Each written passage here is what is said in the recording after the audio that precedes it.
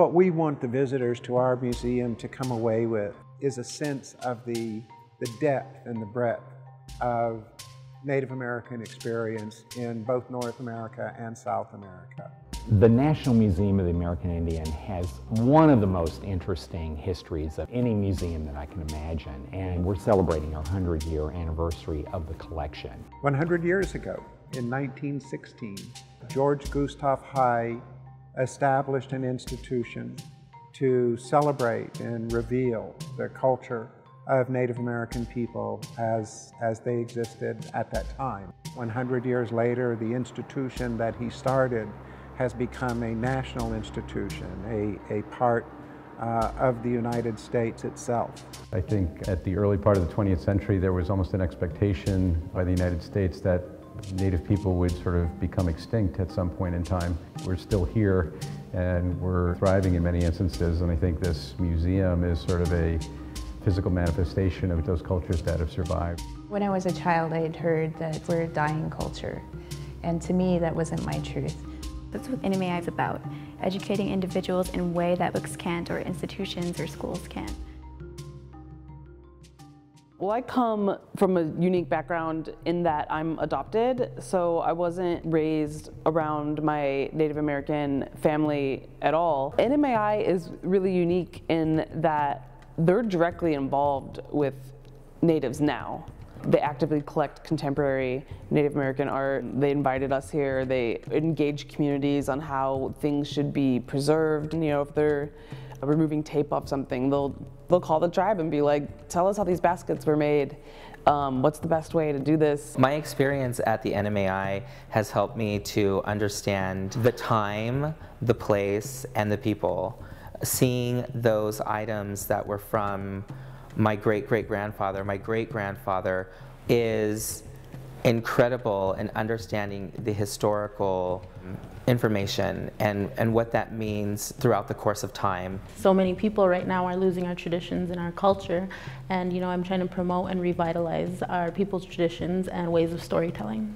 I genuinely grew up not knowing that there still was a vibrant contemporary Native American lifestyle. You know, George Gustav Heye uh, started his museum at a time when the established practice was that museums would collect material from all over the world and then would themselves act as the experts about the care of those materials, its significance, uh, its meaning.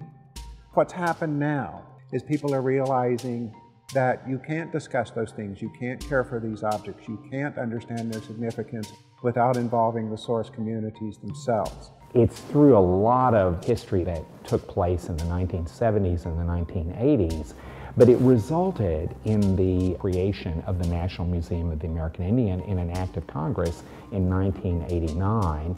And out of this, a remarkable collection of hundreds of thousands, almost a million artifacts, works of art, objects came into the stewardship of the Smithsonian. We don't have warriors anymore, but we have lawyers and we have activists, and a lot of them come here to fight those things. Everything here in this museum has a story. And so if people are going to get to tolerance and then to acceptance and then to even love another culture, you have to be educated about it. You have to understand what it is and what its place in your life can be. The first time I heard of NMAI, my mother and I walked in the parade in the grand opening in 2004. The first time that I've heard about the, the Heye Foundation was when I was a, a child and my mother was talking with one of her colleagues about coming and looking in the collections. I knew that she was going to be seeing the very best of what she could see in the country. Without the Heye Foundation, I know it wouldn't have been preserved as well, so I'm thankful for that. I just remember getting off the elevator at the research branch in the Bronx and the elevator doors opened and right in front of me was floor to ceiling shelving full of pottery from Chaco Canyon. And I just remember standing on the elevator in awe of this incredible work that you usually only see in books. There are still some people who really have kind of a stereotypical image of what Native cultures are. And through what we're presenting at the museum, not only in the exhibitions, but also in our seminars and our public programming, we're really working with the community to kind of change those images to let them know that we're here today, we still carry on our traditions and our knowledge.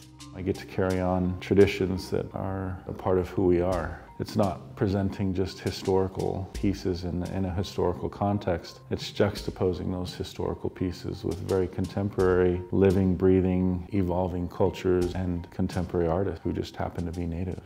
If George Gustav Heye hadn't collected them a hundred years ago and more, quite likely they would no longer exist. We are more than our stereotypes, that we're more than just our regalia. They're much more deeper than that. We're very resilient people. We would like for Americans to learn much more and to, to understand in a deep way um, what the contributions have been, how uh, North America was no wilderness when Europeans arrived, that there were thriving civilizations in the Western Hemisphere that had been there for thousands of years. We hold this material in trust for the communities where they originated.